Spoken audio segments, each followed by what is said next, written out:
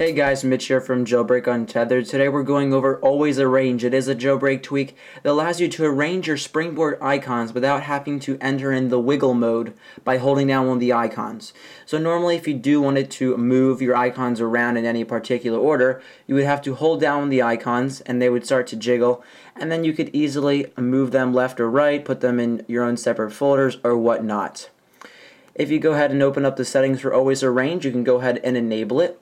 And now you'll have the option to just hold down one of these for a few seconds and be able to move it.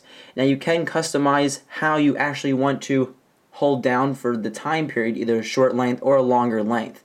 Now you do not have to actually press the home button to get out of that mode. It will be out of it once you let go of the app. So if we bring down the long press duration all the way up, you will enter in the always arrange mode if you go ahead and hold them down a little bit longer and then you'll be able to arrange them in any particular order.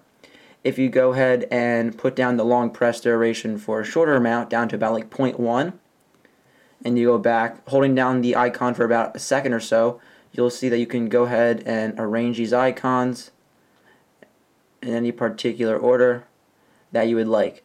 Now I highly don't recommend that you put that all the way down at the very bottom because then if you are trying to actually open up one of these applications you might accidentally uh, click on it or you may have to move in a different location if you actually want to open it up. So guys, this is always arranged and allows you to arrange your Springboard icons without having to enter in the wiggle mode.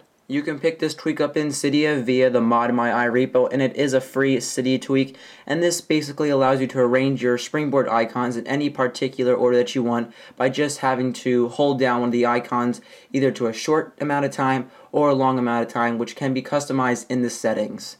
So if you guys do like these videos, don't forget to give a like up, leave any comments below, and don't forget to subscribe to stay updated. Thanks guys.